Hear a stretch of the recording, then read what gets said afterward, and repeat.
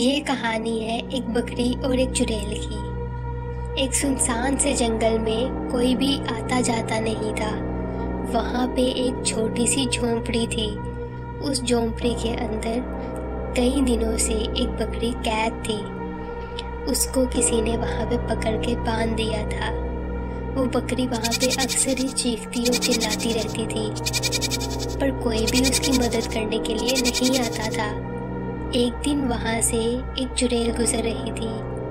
जब चुड़ैल ने उसकी आवाज़ सुनी तो वहाँ रुक गई। वो चुड़ैल ने उस बकरी को झोंपड़ी से बाहर निकाल लिया वो बकरी बहुत ज़्यादा खुश हो गई और चुड़ैल, जिससे सब लोग डरते थे, उसने आखिर कोई नेकी का काम कर लिया। तो प्यारे बच्चों, अगर आपको हमारी ये वीडियो अच्छी लगी हो तो प्लीज़ हमारे चैनल को लाइक और सब्सक्राइब ज़रूर करें। आपका बहुत ही ज़्यादा शुक्रिया।